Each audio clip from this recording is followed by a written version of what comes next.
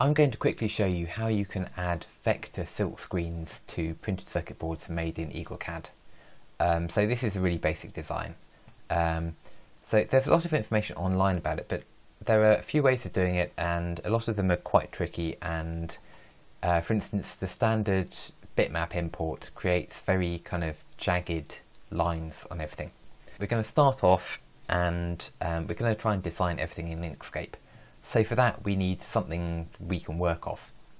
So we're just going to take our design and print it in EagleCAD, um, print it to a PDF, um, turn off all the scaling, scale factor of 1, um, and no mirroring or anything like that. So just click OK, um, and then we'll go into Inkscape and we'll open the file in Inkscape, uh, default settings, and we get something that looks a bit like this. Uh, so as it is, um, this is an A4 page with our thing on, and we want to make the page the same size as the PCB itself. So just go to Document Properties, um, Resize Page to Content, make sure all of those are zero, and click Resize. And I'm just going to change the default units to millimeters here as well. Um, so now we have a copy of what we had before, but in Inkscape, and we can start placing stuff on there and making sure it's nicely sorted out. So I'm just going to import a few graphics. Um, open source hardware logo maybe. Um, now this is going to be tiny, so probably the text won't come out very well. So all I'm going to do is ungroup it and delete that text. And then I'm going to um, import a penguin because, you know, why not? And we'll take that and we'll just kind of try and arrange everything nicely on, on the circuit.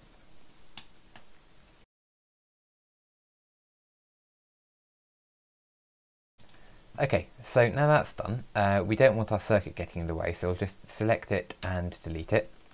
Then we select all, and under path, we do object path. And this makes sure that any fonts or anything we had actually get turned into lines um, that the, uh, the SVG converter can, can deal with. And that's all we need. Um, some other things require you to get rid of Beziers and stuff like that, but this is literally all you have to do for this. So you take it and you save it as an SVG file. Then you need to go to this website here.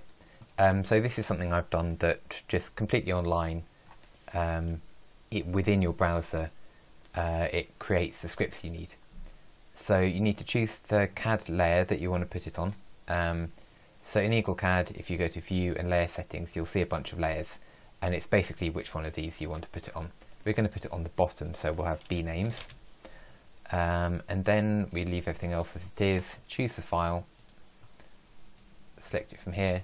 It'll take a few seconds, but once it's done, you'll see a preview here. Um, this won't have any of the sort of negative polygons um, removed, but there's a line from each one, and when it imports into Eagle EagleCAD, they actually will be removed. Uh, so all you have to do now is click in the text area, select all, copy it, and then in EagleCAD, go to the command box, paste it into the command box and press enter. And everything's in there.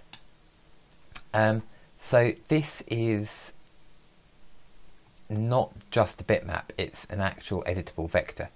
So if we don't like something, maybe this, we can kind of move it out a bit. Um, and actually it uses very little space um, compared to a normal bitmap thing. So it'll be much easier to um, pan around your circuit and edit other things when this information is in here.